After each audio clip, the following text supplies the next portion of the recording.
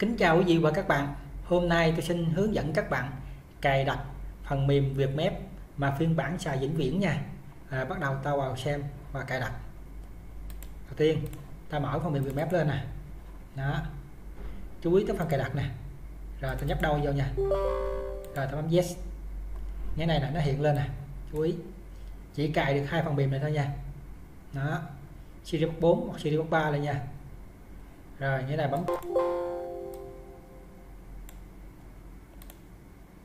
rồi, chọn vô nha. Rồi, bấm cài đặt.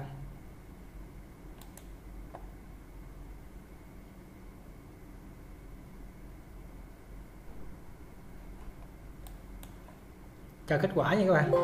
Nó quá trình cài đặt thành công rồi đó. Rồi, bấm thoát nha. Rồi dẹp ép nè.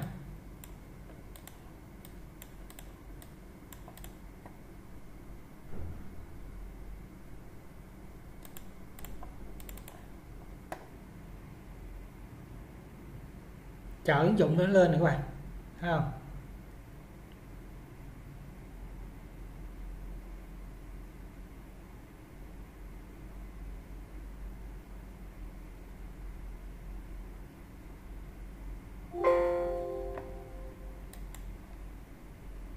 Đây.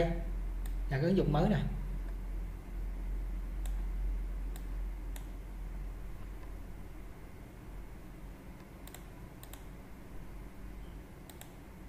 nó xài được tự động rồi còn lên lên các bạn. Vô xử lý được bình thường nha. Rồi cảm ơn các bạn lắng nghe. À, chúc các bạn thực hành thành công nha.